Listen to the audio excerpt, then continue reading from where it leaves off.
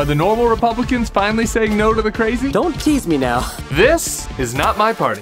Brought to you by The Bulwark. Republicans are going into the 2024 election with Donald Trump as their most likely nominee for president and with many members of Congress backing one of his most loyal insurrectionist lieutenants to be the House Speaker. Well, that's terrifying. But this week, finally, some Republicans showed some backbone. It's about damn time. Even still, it's important to step back and appreciate just how insane it is that Trump and Jordan control as much of the party as they do. It's a sad state of affairs. Let's compare to the Dems. There's been a lot of talk since the Hamas terror attack about how some on the far left have gone off the deep end. In fact, I talked about that just last week. But it's important to distinguish that group of campus activists and backbench Congress critters from what's happening in the Republican Party, where the craziest people are at the center of power. It's not like 200 Democrats want Ilhan Omar or Cori Bush to be House Speaker. For years, the respectable Republicans on cable news and in Congress have promised us that beneath the Trump show, there remains a normal, serious Republican Party. I have my doubts. This week, that group was revealed. They do exist, but they're pretty small. 20 Republicans stood up to Jordan on the first ballot. What about everybody else? One by one, the most supposedly mainstream Republicans succumbed to Jim Jordan, the man whose committee was behind the infamous Kanye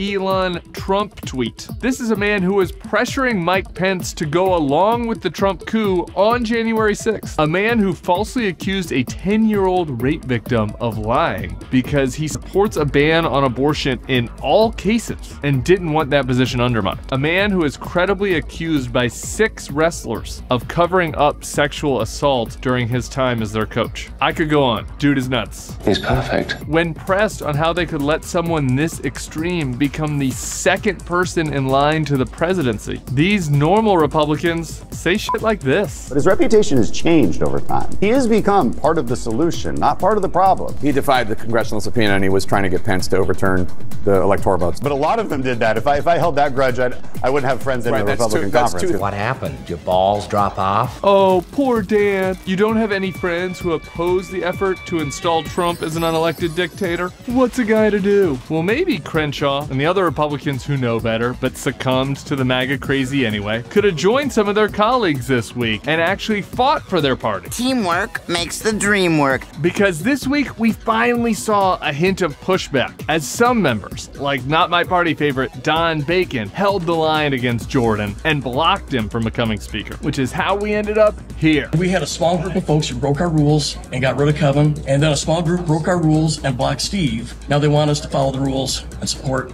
Jim, and I don't like that. Nice job, Bacon. Oh, bacon.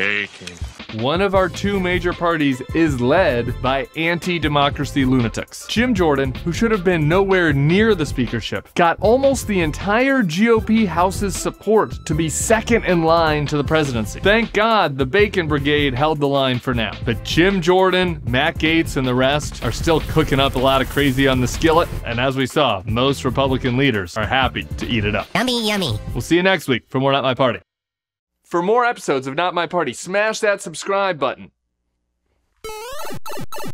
And scan right here to subscribe on Snapchat, where you can get the episodes first and all the Not My Party content you desire.